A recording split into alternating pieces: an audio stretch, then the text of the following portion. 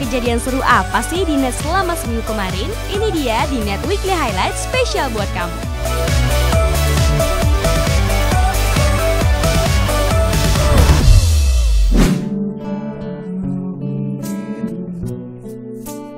Untuk merayakan Hari Ibu di Tonight Show, nggak cuma bintang tamunya aja yang kedatangan ibunya, hostnya juga. Jadi Tante Tina waktu kecil tuh Desta seperti apa itu? Kadang suka ngerti, nggak ngerti ya lucunya dia.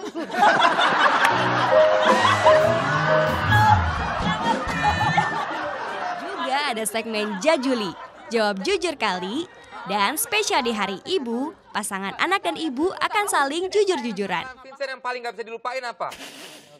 Ayo yang paling bikin kesel atau Jawab jujur dulu gitu. Jawab jujur. Pakai baju perempuan.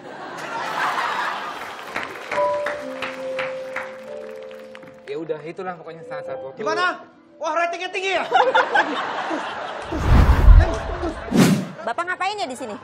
Mau minta sumbangan ya? Bukan. Saya itu guru bahasa Indonesia. Lucu ya bu, kalau inget-inget masa lalu. Setelah bernostalgia tentang hari pertama melamar jadi guru, Pak Budi mengajak murid-muridnya untuk cerita tentang masa lalu mereka. Ternyata penampakan mereka dulu beda banget sama yang sekarang.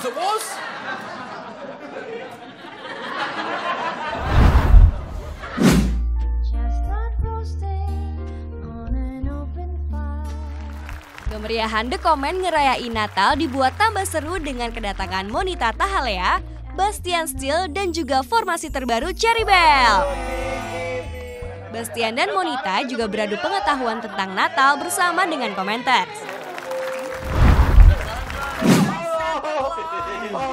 Keren pacar. Bastian Bintang dan Mas Adimba Angel bakal ngumpul lagi nih di hari Natal. Dan dengan ide Pak Charles, mereka akan tuker-tukeran kado sebagai Secret Santa. Secret Santa? Yeay, seru banget. Secret Santa. Kayak itu agen 007 gitu ya.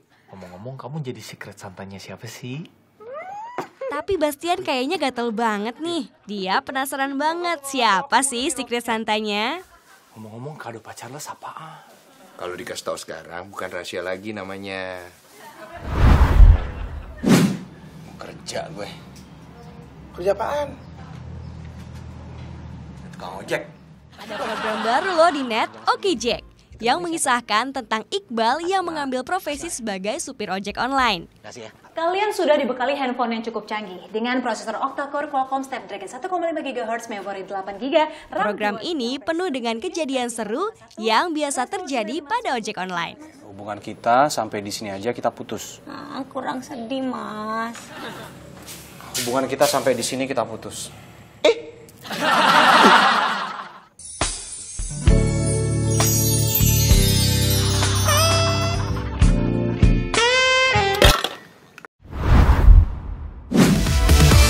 Momen-momen seru yang ada di net selama seminggu kemarin.